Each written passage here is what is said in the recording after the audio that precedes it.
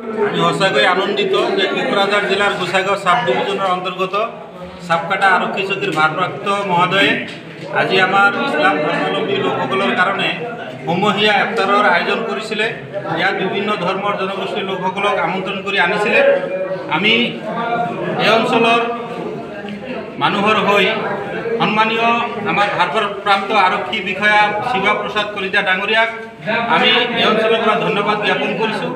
তেখেতৰ কাম কাজত সকলোৱে সন্তুষ্ট হৈছে। আজি ইমান এটা বৃহৎ আয়োজন কৰি সকলোকে মনোৰঞ্জন দিয়াৰ কাৰণে মনৰ যিটো তৃপ্তি সেইটো দিয়াৰ কাৰণে তেখেতক ধন্যবাদ জ্ঞাপন কৰিছোঁ।